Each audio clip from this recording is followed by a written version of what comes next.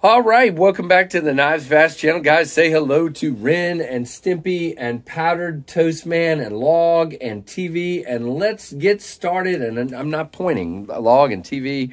Look at that. I don't know.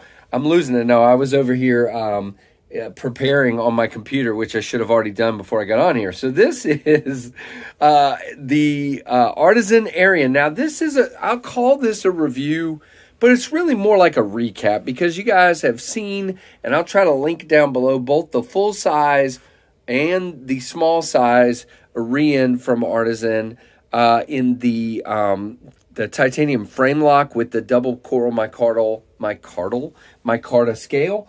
This, however, is a budget version from White Mountain Knives as an exclusive. This, and he still has some left. So these are $85.69, so almost $86. Plus you get 10% off with the code Knives Fast at checkout. Don't forget that. 10% off. Knives Fast at checkout. The blade steel is AR RPM 9. Um, and again, it's got that awesome, awesome uh, micarta. We'll talk about drab green micarta. Uh, this is a full-size knife, guys. This is a, uh, what is the full size? Um, Oh, come on. I know what the overall length is. Really, it's not listed. But, um, all right, hold on. Uh, let's see. Where is... We're gonna we're gonna do a comparison here that'll help me know how long this knife is. Uh, here is the Mach 51, which is eight inches. Oh my goodness! I don't have enough room in the tray here. Uh, so the the Mach 51 is an eight inch knife, and you can see that the Arion is just a little bigger than that.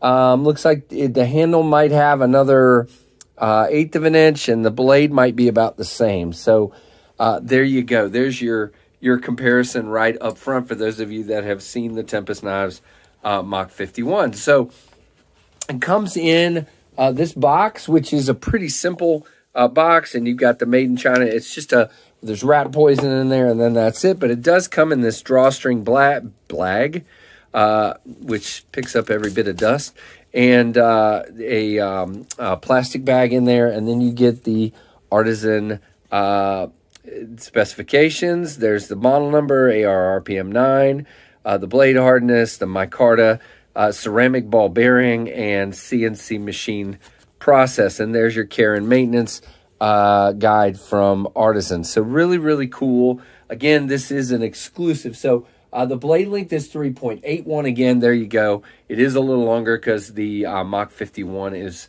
uh, three and a half inches, 3.5. Uh, the blade thickness is 0.13. Nice and thin and slicey. I just have loved this. The handle is thin. The blade is thin. Uh, you guys know I loved the original uh, and uh, there's this one. So um, flat grind, of course, AR RPM 9, and it is a uh, liner lock. And as far as the handle uh, length, again, I think that's just over four and a half inches. And as you can see, that leaves you plenty of room left, left over. There is not a sharpening, uh, sharpening, there is a sharpening choil. There is not a finger choil, but you have plenty of room. You do have jimping up here, uh, in this area and a nice flat spine ab above that if you want to get further up. Uh, really, really cool. And again, this thing feels so great in the hand. I just love the way it feels. Now, as far as billboarding, you got the Artisan logo. Look at that awesome satin finish. You guys know I love that. Uh, you got the Cerberus Knives logo. Chris from Cerberus is who designed this. There's your serial number and your steel mark and China down here at the bottom but this micarta, guys, is super grippy. Uh, it is um, the kind of micarta that takes in your skin oils rather than one that's just loaded with resin.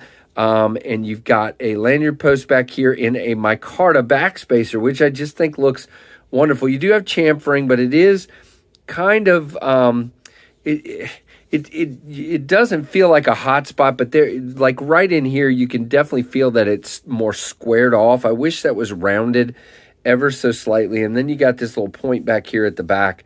Uh, isn't really a big deal because my hand's never back there.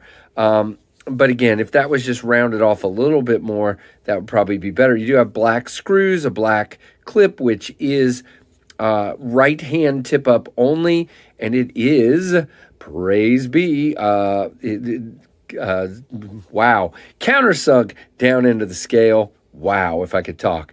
Uh, there is a little bit of skeletonization on the um, on the show side, and again, just I can't say enough about this micarta. So grippy, but it's soft and feels nice. I'm really digging it, um, and all that. Now, as far as action goes, uh, I love a knife with uh, a thumb hole. In this case, you got a thumb hole, and then you've also got uh, the ability to middle finger flick it as well. Very, very nicely. The detent uh, is good on this one. detent test. There you go. Really nice. Um, works well for me.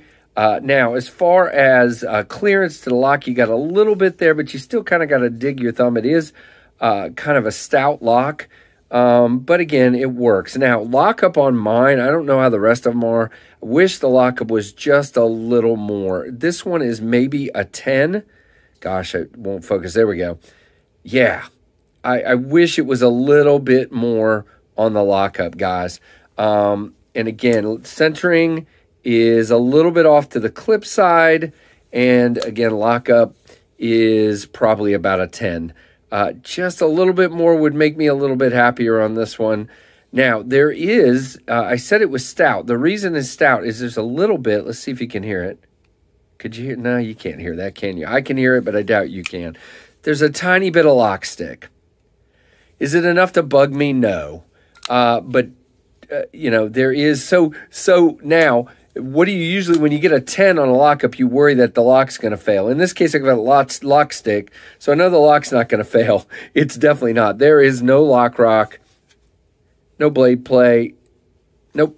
Uh, and uh, really well done. It is riding on bearings as we said and it is it drops with one little shake uh, drops to your thumb first obviously on that choil see?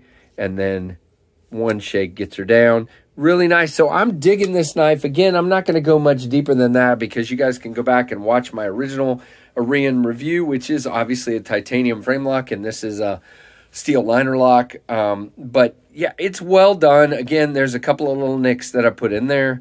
Uh, but again, $85, 86 um, and 10% off at White Mountain Knives with the code Knives Fast. So guys, check it out. Maybe it's one you're interested in. I know a lot of you already picked it up. So, guys, they're still there. So, check it out. Uh, if you want, give me a thumbs up. Let me know what you think down in the comments. And thank you ever so much for watching uh, all the time and for supporting the channel in so many different ways, guys. Check out the description for all kinds of links and helpful information and uh, some information on how to join the channel if you're interested in supporting. Uh, but, guys, subscribe if you're not. And thanks so much for watching the Knives Fast channel.